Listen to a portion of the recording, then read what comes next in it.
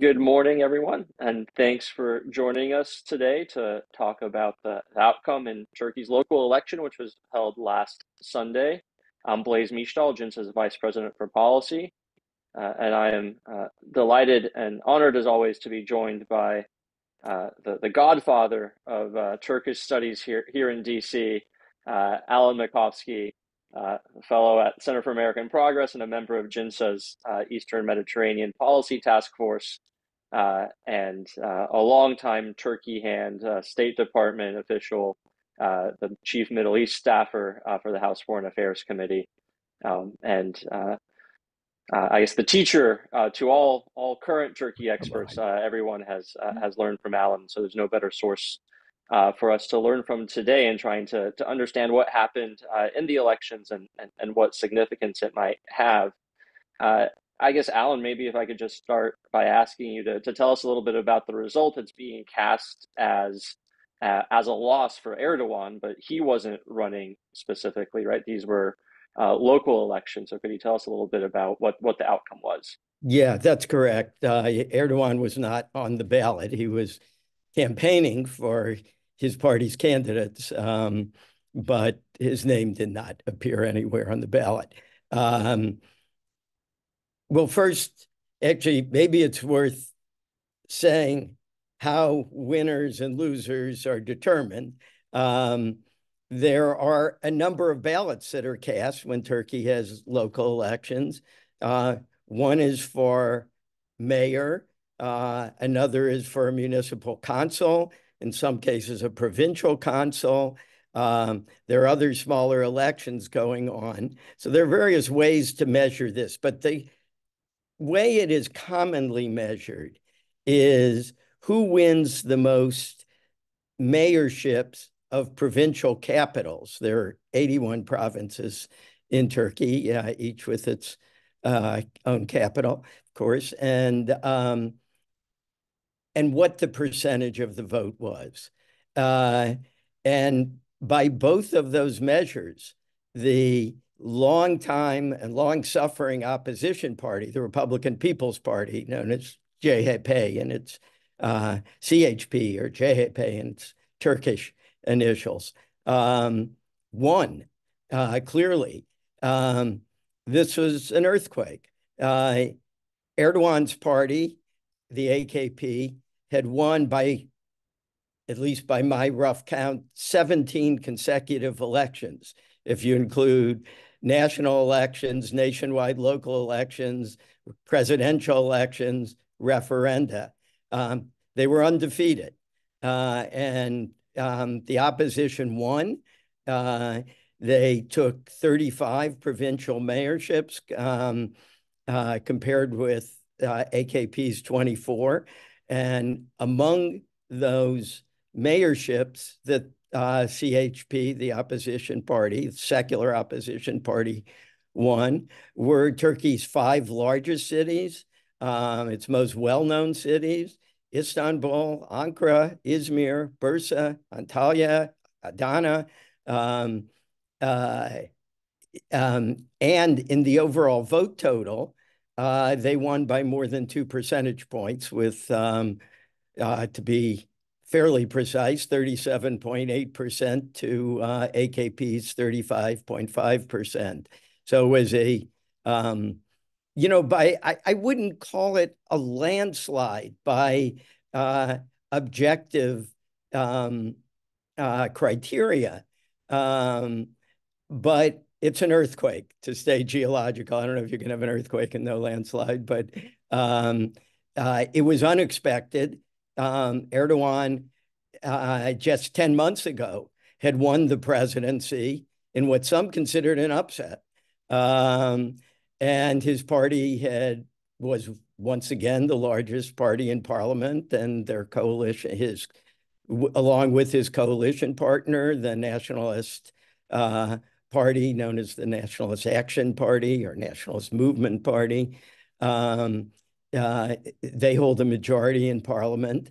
And prior to the election Sunday, uh, I, most people expected that there was not going to be anything dramatic happening. The big focus was really on Istanbul, um, which the opposition had won in the last local elections in 2019, and that was considered a huge upset uh, at the time. And uh, the question was, would its mayor, um, Ekrem Imamoglu, be able to get reelected and thus retain viability to run for president uh, four years from now? Many people consider him a uh, likely to be a very strong challenger.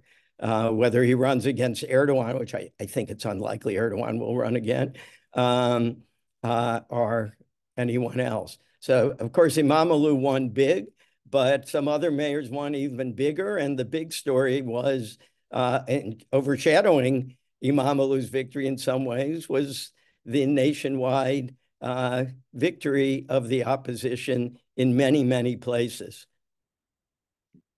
Yeah, so I was going to just maybe push back a little bit or play devil's advocate on this idea of a big victory, because as you mentioned, uh, CHP, the opposition candidate, already won Istanbul in, in the previous municipal elections. It's so so he was, you know, as the incumbent was reelected. The same in Izmir, the same in a lot of these municipalities. Ankara. That Ankara that the CHP won.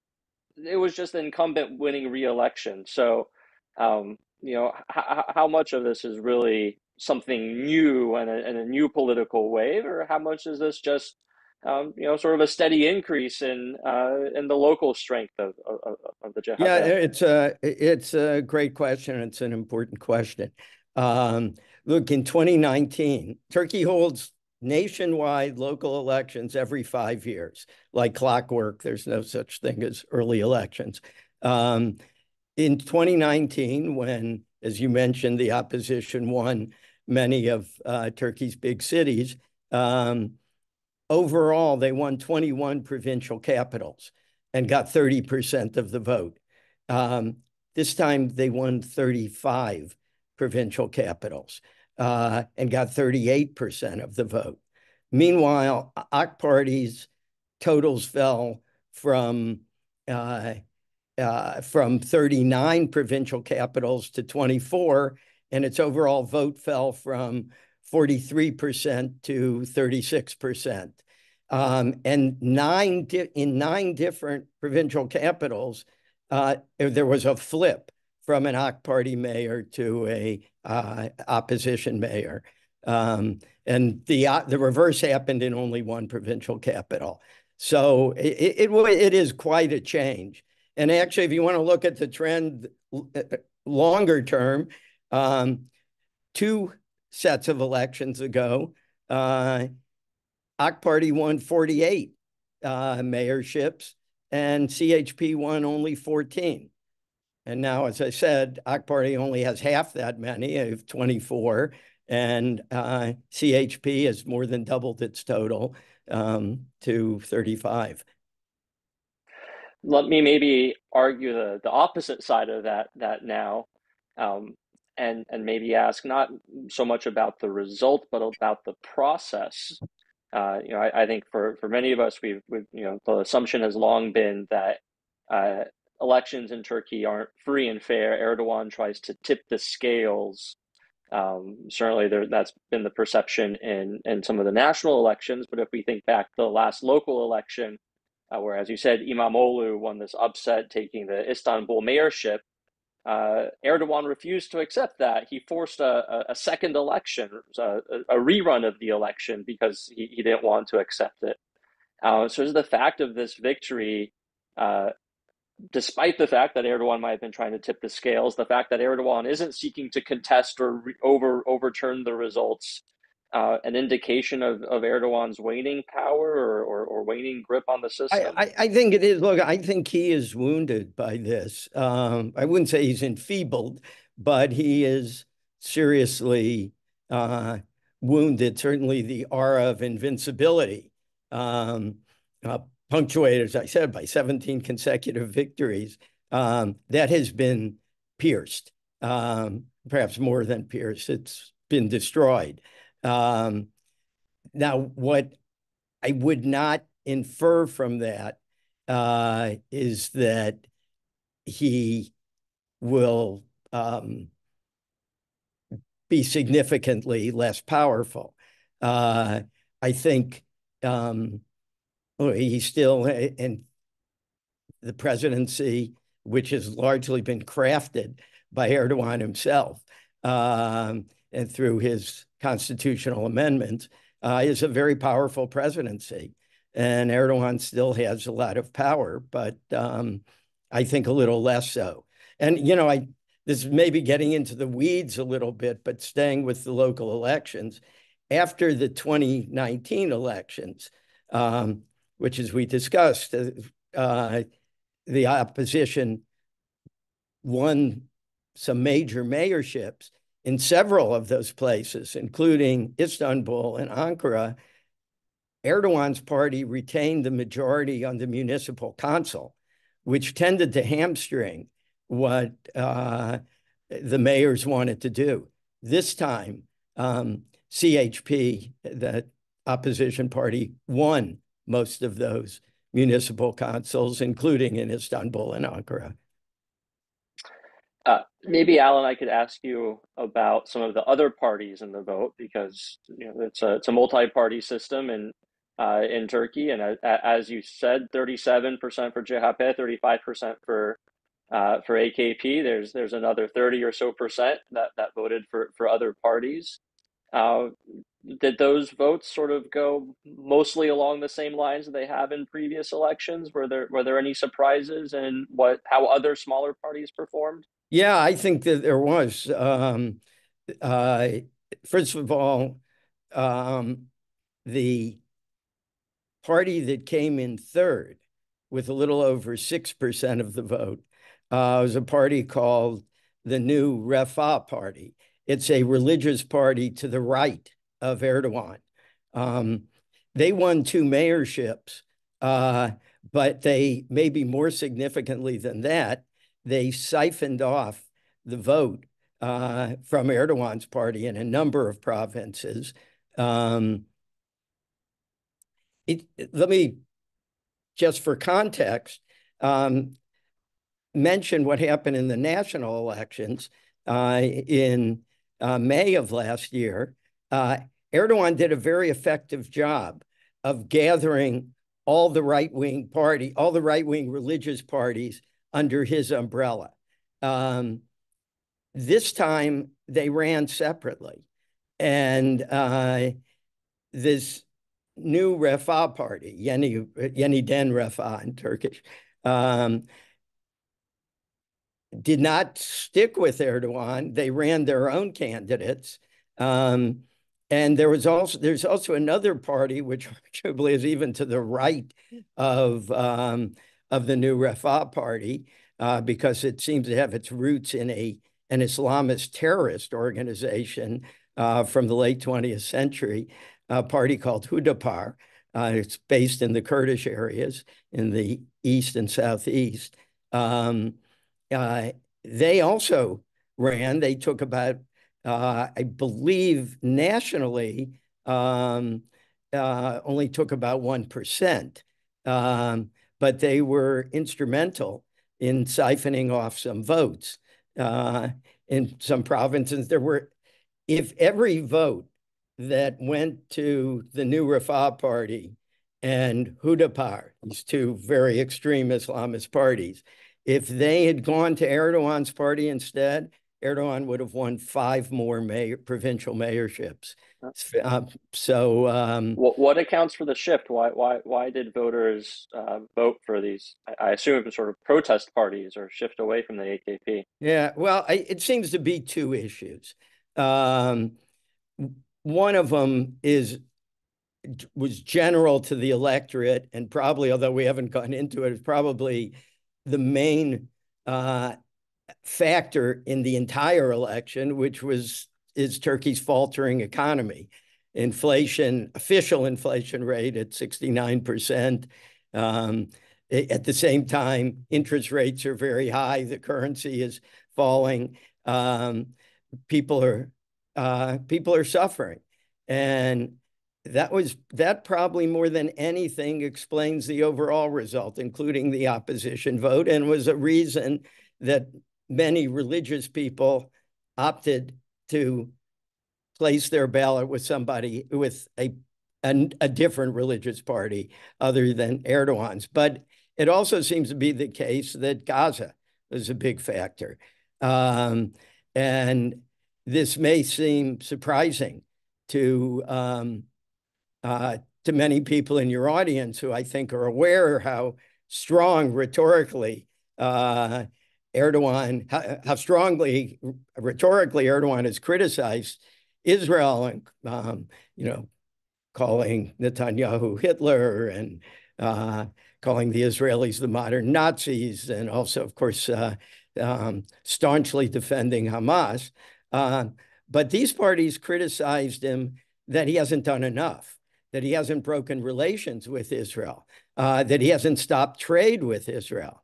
Um, and, uh, and that seems to have been a big vote getter, um, particularly for the new Refah party.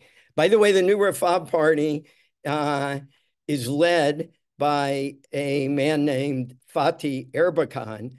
He is that may that last name may be familiar to some of your audience. His father, his late father, Necmettin Erbakan, was Turkey's first Islamist-oriented prime minister, and um, from 1996 to 97, and was um, no different than his son in terms of his attitudes towards Israel. By the way, the party, I, I should add, is not only anti-Israel, it's also anti-NATO, anti-US.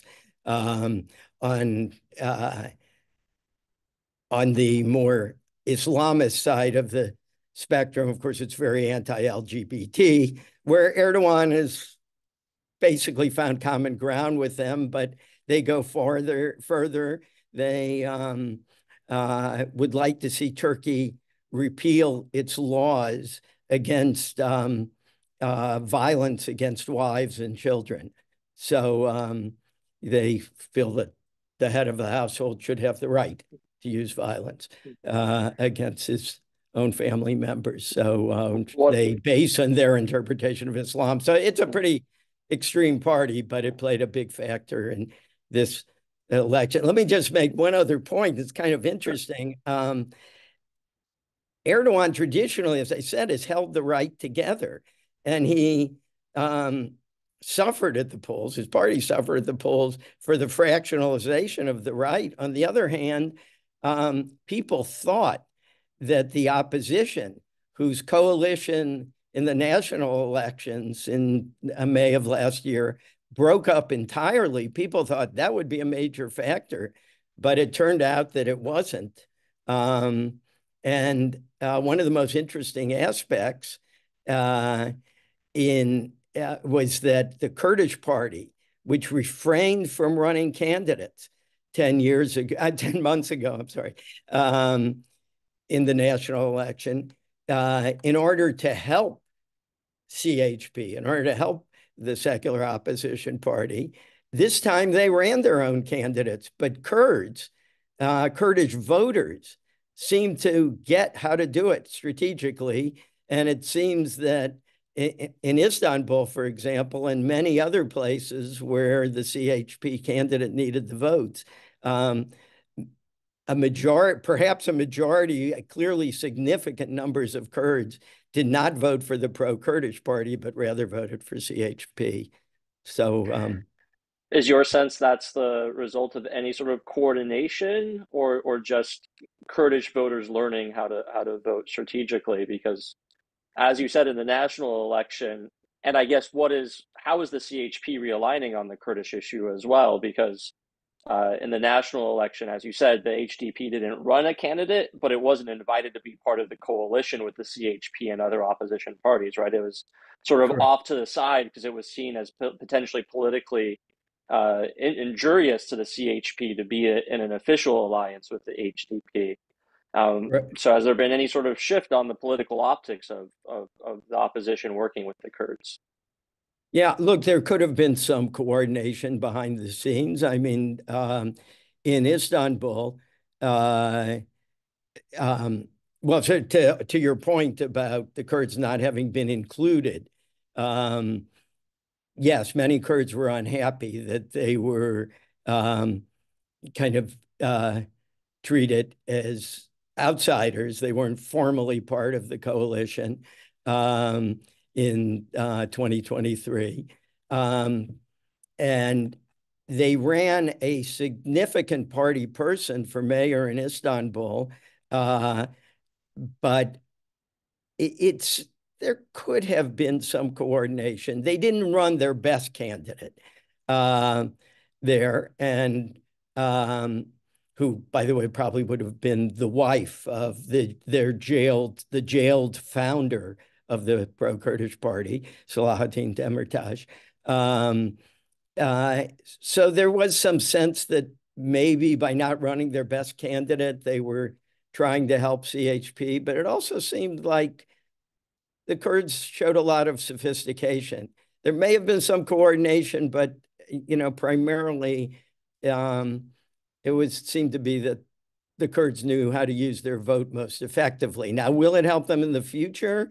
Um, some people noticed that uh, Imamoglu, in his victory speech, when he thanked various people, he thanked several groups, and he mentioned the Kurds by name, which um, be sad to say, but is somewhat of a big deal in Turkey, um, that he thanked them. He has also um, been critical of the Turkish government, um, which has replaced in the past many elected, uh, matter of fact, most elected Kurdish mayors uh, from the Kurdish majority areas. They have replaced them with what they call trustees, kayyum and Turkish, um, uh, on security grounds.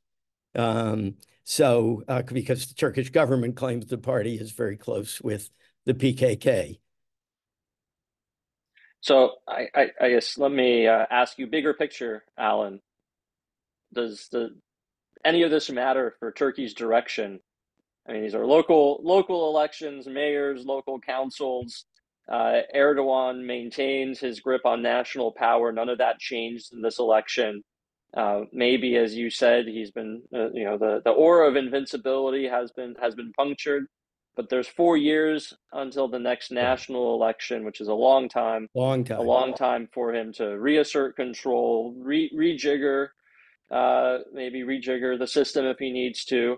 Uh, and and he, as you said, I mean, he was challenged by the opposition party, but he was also challenged on his right. So, um, I mean, th- does this, if anything, force him to to move further to the right and, and stave off uh, the, the, the fractionalization of his support there? I mean, how does how does this change sort of Turkey's overall national level political dynamics? Yeah. Well, there may be a bit to that about moving to the right domestically. Look, I I think his hope domestically is that the economic plan um, that they have in place, which is still rather new, will by four years from now be have the economy humming.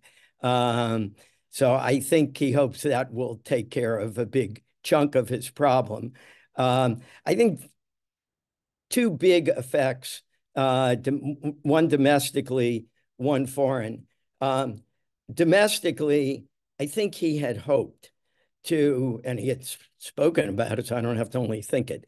He had hoped um, to uh, bring a new constitution to Turkey, possibly one that would allow him to run again, because actually he's in his last term under this constitution, with one minor exception. Um, and uh, and I think this result affects the possibility of him doing that constitution. He would need at least 60% of parliament um, to bring a constitutional measure to a referendum. Um, and uh, uh, he would need two thirds of parliament um, in order to actually just pass it without a referendum. He's far from that. He's got about 52% with his coalition partner. Um, I don't think he's going to be able to do this constitution or any of his amendments.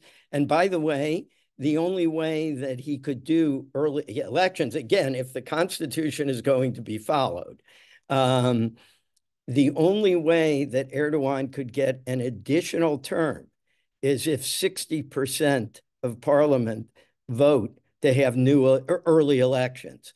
Um, and I don't think that's likely. I mean, I, I think the odds, it may not have been likely anyway, but I think it's less likely now because parties, the parties he would need to bring in to bolster his current support in parliament um, are more likely to see him as a sinking ship. And I don't think they're like, likely to want to help him out. The other effect in um, foreign policy, look, I, Erdogan's going to want to change the subject. Um, and I think we do have to keep an eye uh, on what he's likely to do to change the subject. Um, he's a little bit hamstrung by the fact that uh, he has a visit to the White House coming up May 9th. I believe that's not been confirmed by the White House, but it seems to have been confirmed on background by uh, a number of U.S. officials, and it's been stated by Turkish officials. Um, I think he's not going to want to upset the apple cart before that, but um, he may do a big operation in Iraq against the PKK. Uh, something very big that would be a major problem for the U.S., of course, would be an operation, which he has long threatened to do, um, in uh, Syria, uh, where the U.S. is partnering with a Kurdish group against ISIS. Um, and Erdogan considers the our partners, the U.S. partners, to be part of the PKK and therefore a terrorist group. Um, I don't think he can really do anything in the Aegean to stir things up with Greece. Uh, he could, of course, but um, the recent uh, agreement of Congress to let him have F-16 plus 40 new F-16 planes, I think would would go down the tubes if he did anything on that score. And there's been a rapprochement with Greece lately, which I, I expect to hold uh, for the sake of Erdogan getting those, for Turkey getting uh, those F-16s. But um, he'll certainly want to change the subject. And um, I know you were running out of time, aren't we? Uh, I no, no, we can um, we can run a little over here. I, I just wanted to make sure um, before uh, eh, before we um, sign off to mention that uh, although the Kurdish party, because so many of their partisans voted for CHP, um, lost its overall vote, uh, its overall vote declined to from about eight and a half percent to around five percent, eight and a half percent in the national elections last year to about five percent. Um, it still won. Uh, I believe it was 10 provincial mayorships in Kurdish majority areas. Um, and is contesting a few others. And it, actually, um, there's been quite a bit of controversy. The mayor of Van, occurred from the pro-Kurdish party, won, and it did win in a landslide. He won 55%. Um, he subsequently, and the number two uh, um, candidate was from Erdogan's party with 27%. So it was basically two to one.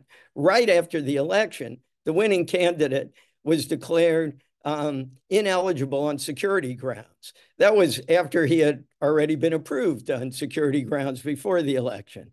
Um, uh, there were huge demonstrations um, because of that.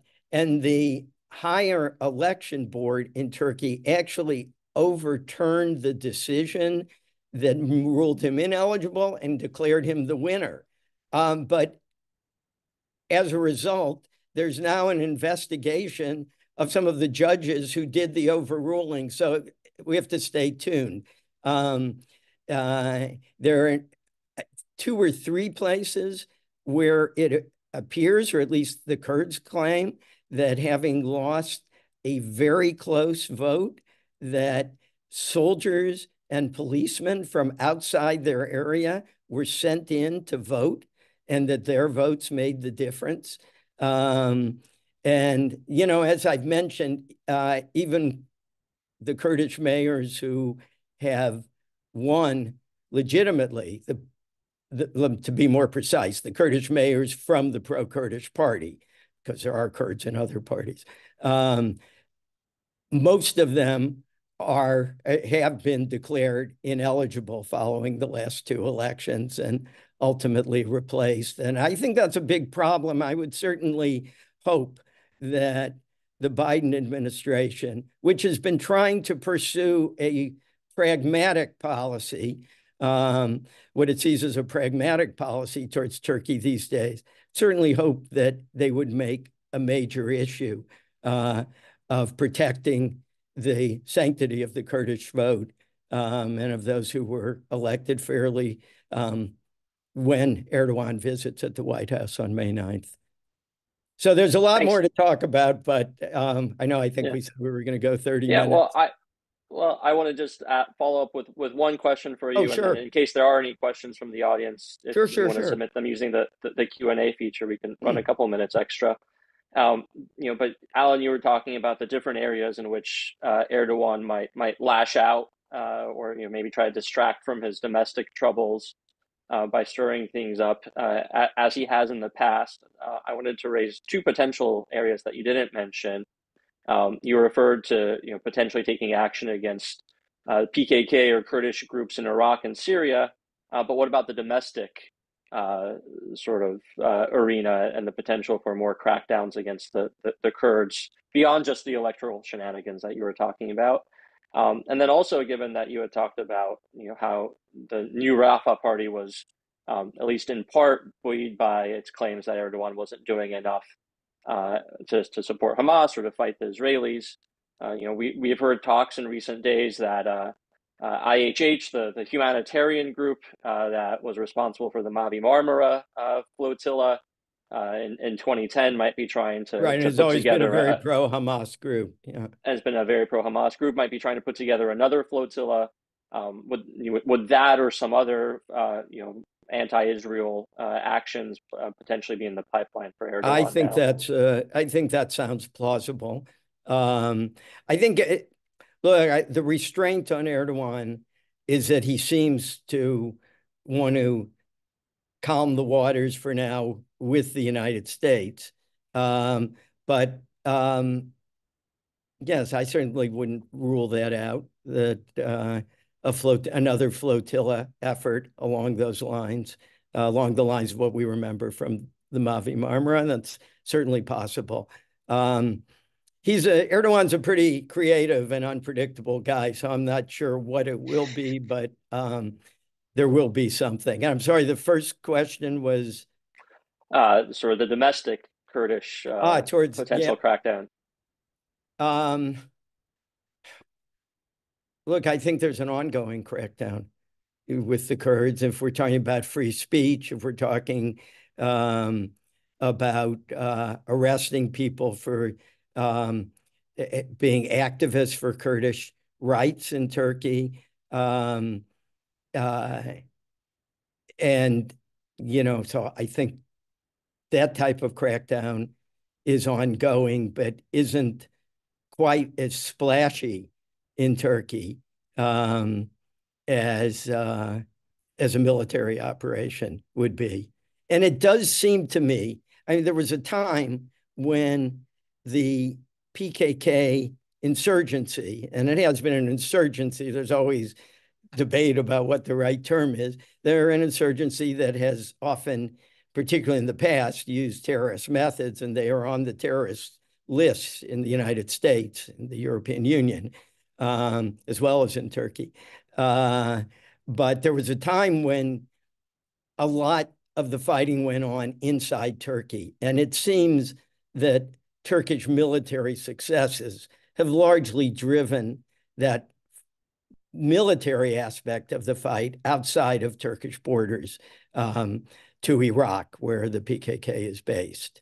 And actually, Turkey recently signed an agreement uh, with the government in Baghdad, which it seems will um, allowed Turkey um, great freedom of action in terms of uh, pursuing the PKK in, in Iraq. So I, I think that is a possibility, and that's something that it does get a lot of attention in Turkey, certainly.